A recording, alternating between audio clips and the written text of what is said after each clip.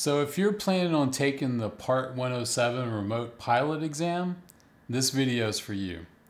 I'm going to share some quick tips on how I approach studying for this test, and if you do the same, it's guaranteed that you will also pass this test. Not only will you pass this test, but you'll gain a solid understanding of the air system and what's expected as a remote pilot. So when I first started uh, to, to prepare myself for this exam, the first stop was the FAA website, and they have a study guide on their website. There's a lot. There's a lot of content there, and you really don't know what to focus on. So, after reading just just several pages of that, I decided to. I started looking for some kind of study guide or test guide, and I found this UAS Remote Pilot um, Test Prep Guide.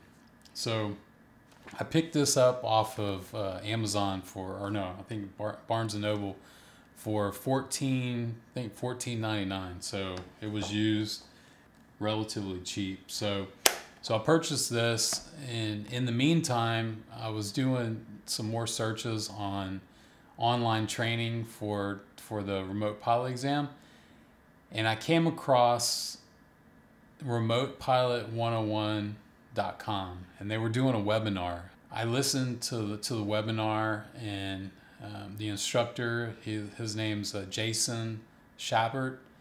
I just liked I liked his approach to how he was delivering the content. All the videos were shot in 4K. The quality was good. I just I, I liked it, so I ended up signing up for their course, and that was probably that was probably the, the best thing that, that I could have done because I think it took me several days just to go through the content and watch all their videos. What's nice about their course is right after each chapter, there is a, a, uh, uh, an exam for each chapter. So you can go through, take the exam, and see what, what you need to, to focus on. And then once you're done with all those chapters, you can do a final exam. So what I ended up doing was I looked at the content once did the exam, went back, looked at all the parts that I had problems with, and I think I even went back and looked at everything one more time. So so I really knew I, I really knew the, the material when it was time to take the test. So about I think one day before the test, this this uh, guide showed up. So I went through, and this guide, the way it's set up is there is um, basically an explanation of what the content is, and then right below it is sample questions that are similar to what's going to be on the test. And then it gives you um, it gives you basically the answer at the end of the page, and then it gives you a reason why that's the answer. So the the one thing that that's important about this test is it's really um, there are a lot of trick questions on the test. So you really need to know the content and and one and you really need to know what they're asking for when you're answering the questions. So the the other couple of things that I liked about Remote Pilot 101 was that these guys are uh, constantly updating new content and then sending out emails when there's new videos.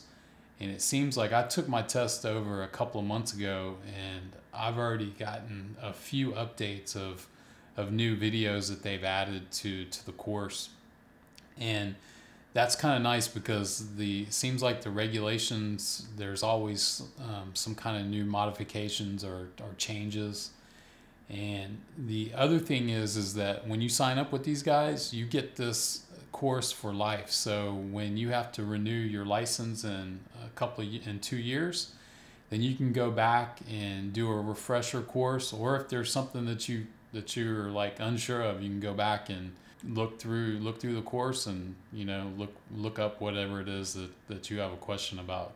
So good luck with taking the Part 107 remote pilot exam. And if you found this video to be helpful, hit the like button, um, subscribe to the channel. We're going to be talking about video production, 3D animation, compositing and the gear that we use to do those things. So if if you're interested in that stuff, uh, hit the subscribe button. Thanks.